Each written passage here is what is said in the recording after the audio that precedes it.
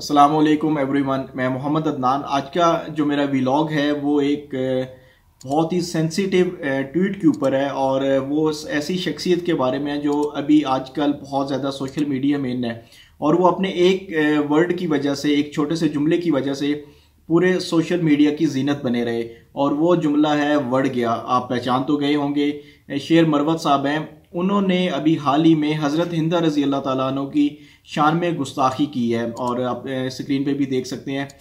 इसके अलावा शेर मरवत साहब को ये क्यों नहीं ख्याल आया? ये लिखते हुए या जान बूझ के उन्होंने ये लफ्ज़ इस्तेमाल किया, हज़रत हिंदा रज़ी अल्लाह तु का नाम इस्तेमाल किया। आप अपनी गंदी सियासत में ऐसी पाक हस्तियों को ऐसे सहाबा को क्यों लेके आते हैं? क्योंकि अगर आज 1400 साल के बाद भी हम देखें कि एक आदमी है जिसने सारी ज़िंदगी, अपनी ज़िंदगी कुफर पे गुजारी है, लेकिन अगर वो ईमान ले आता है आज के वक्त में भी तो कोई भी उसको, उसके कुफर वाली ज़िंदगी के ताने नहीं देता, बल्कि उसको इस्लाम और जो मुसलमान हैं वो सीने से लगाते हैं और उसकी हर चीज़ को भूल जाते हैं और उसके लिए दुआ करते हैं कि इसकी जो फ्यूचर आने वाली लाइफ है। अल्लाह पाक इसको इस्तकामत दे और दीन के ऊपर चलना इसके लिए आसान बना दे। और आज से 1400 साल पहले और वो लोग जो कि सहाबा कराम रिजवान अजमैन हैं, उनके बारे में आज के 1400 साल के बाद के ऐसे लोग जिनको अपने बारे में भी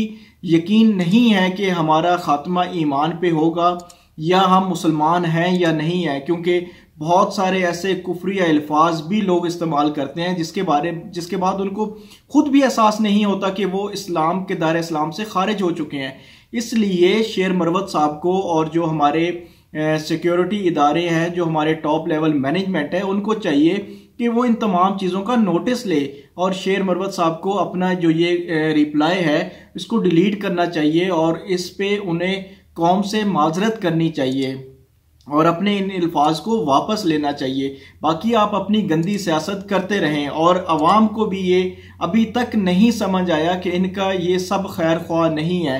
ये असल जंग सिर्फ़ और सिर्फ़ कुर्सी की है, पावर की है, क्योंकि एक गरीब इंसान ही जिसको पता है एक रोटी की क्या वैल्यू है, सिर्फ़ वही जान सकता है अपने गरीब मुसलमान बहन भाई का दर्द।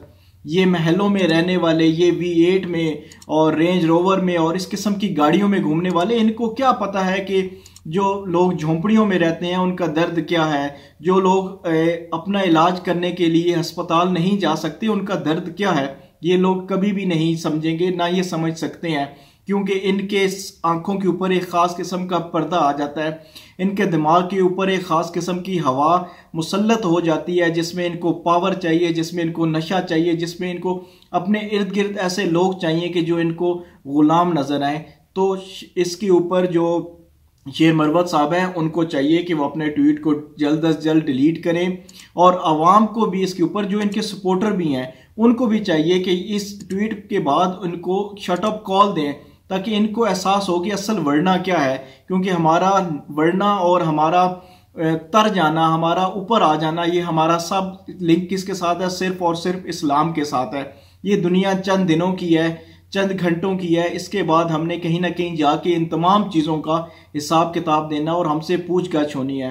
तो मेरी इन तमाम लोगों से रिक्वेस्ट है, जो ये मेरी वीडियो देख रहे हैं कि इस वीडियो को इतना मतलब कर दें कि शेख जो शेर मरवत साहब हैं, कम अज़ कम उन तक पहुँच जाए। उनको एहसास हो कि उन्होंने एक गलत लफ्ज़ इस्तेमाल किया है और जिन लोगों का, जिन मुसलमानों का इससे दिल आज़ारी हुई है, वो कम अज़ कम उन लोगों से माजरत करें और जिन लोगों को इस चीज़ के बारे में नहीं पता, वो उलमा से पूछें कि हज़रत हिंदा रज़ी अल्लाह ताला कौन थी। तो फिर इंशाल्लाह नेक्स्ट व्लॉग में दोबारा फिर मुलाकात करते हैं, तब तक के लिए अल्लाह हाफिज़।